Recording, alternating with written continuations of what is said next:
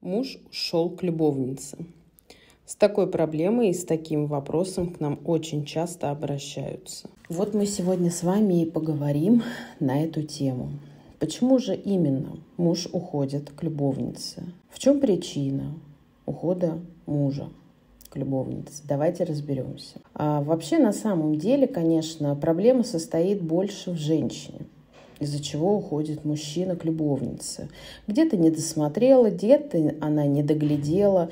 И очень часто бывает такое, что женщина, знаете, как-то расслабляется после свадьбы, а думая о том, что да куда он теперь денется?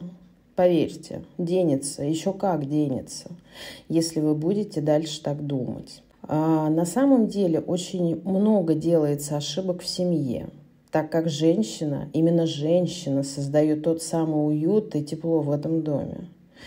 И именно женщина должна простраивать свое гнездо. К мужчине это не относится, так как у мужчины преобладает э, две стихии в основном. Это огонь и ветер. И куда потянет именно этот внутренний ветер мужчину, неизвестно. Мужчина, он защитник, он бык-осеменитель но никак не домосед. И ему не нужно строить какое-то гнездо, какую-то семью. Это нужно женщине. Поэтому а, здесь и бывает ошибка женщины в том, то, что м, женщина даже просто банально перестает следить за собой. Что уж там говорить о том, что она перестает даже себя накачивать женской силой. И она перестает заземлять мужчину. Вот, к примеру, представим мы даже вот такую вот ситуацию, когда муж приходит с работы. Он уставший, голодный, так скажем. И вот он приходит домой, и жена начинает его просто пилить. Все не то, все не так, денег нет, полку не повесил, сын плохо учится и так далее. Вы думаете, ему охота слушать такие слова вечером, когда он приходит домой? Нет. И день изо дня когда вы так встречаете своего мужа дома, поверьте, ему это надоест слушать. И он рано или поздно начнет себе искать ту самую ласковую, нежную, красивую, обаятельную женщину, которая будет ему по вечерам ворковать, слушать его, обласкает его, приголубит и с собой положит. Поэтому будьте бдительны, если вы так сильно дорожите своим гнездом, а, следите за собой всегда, заземляйте своего мужа. Очень много есть способов для этого. И накачивайте себя именно той самой женской силой, чтобы мужчина был всегда рядом со своей женщиной, ей необходимо выражать на своего мужа. Во все времена всегда женщины и девицы выражали на своих мужчин или мужей. И это нормально, это прописано самой природой. И женщина должна выражать на своего мужчину. Не забывать об этом. Делать, к примеру, и зазывы, и подливы, и всевозможные сексуальные привязки.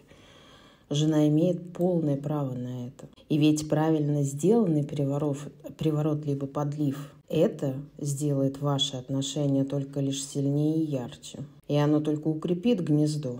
И ваш мужчина будет расти во всех смыслах этого, этого слова. И где ресурсы у вас внутри семьи будут ваши увеличиваться. Если у вас муж ушел из семьи, и вы сложите крылышки, то знайте то, что ваш муж к вам не вернется. Это в 99%. Он останется именно с любовницей.